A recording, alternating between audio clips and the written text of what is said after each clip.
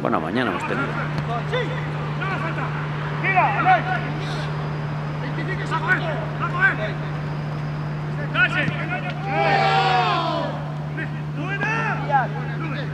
¡Sigue!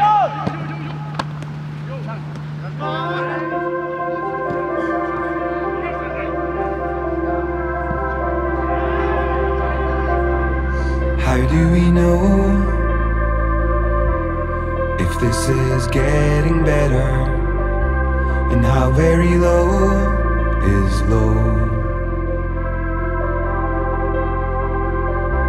Separate rooms,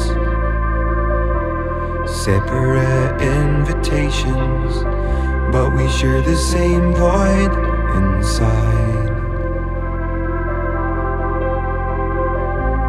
How do we breathe this world alone? How do we survive